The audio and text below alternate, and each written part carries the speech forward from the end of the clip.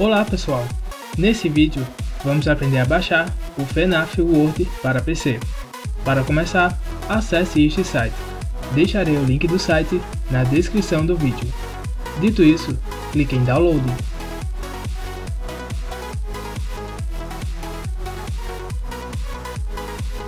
Aguarde o download terminar. Aperte em Mostrar na pasta. Pronto, esse já é o aplicativo do jogo. Você pode arrastar para sua área de trabalho ou qualquer outra pasta.